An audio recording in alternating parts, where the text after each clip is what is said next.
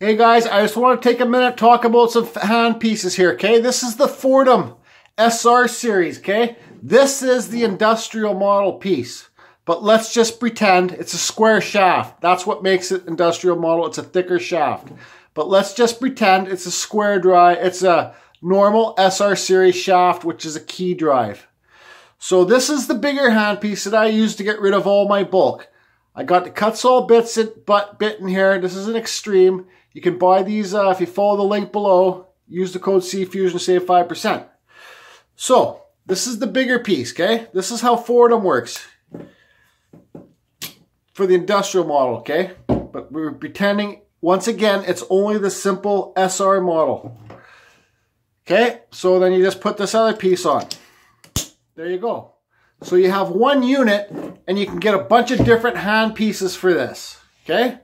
This is the big bulky one to get rid of bulk, and this is the little pencil one to do detail carving.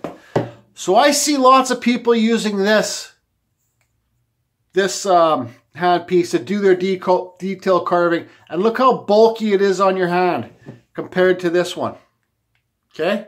It's hard to tell on camera, but this is nice, like a nice little pencil, right? Fits in your hand perfect. You can get in there and do nice little detail carving, okay?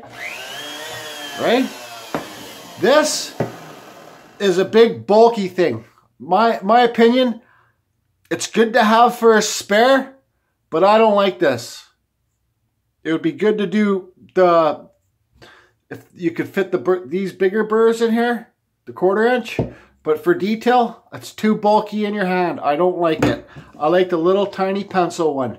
So I suggest you go to the Foredom site and look up these there. I don't know how much they are, but they're not that expensive. So look at compared to the Dremel.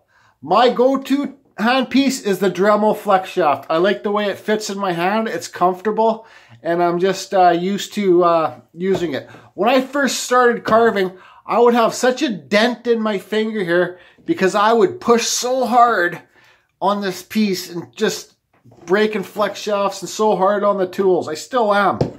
But you know, if you have one of these with your kit, definitely try and get one of these pencil bits for the Foredom. They uh, they work great. You know, let's see here. It's not that hard to change out the bits. You got a little hole there.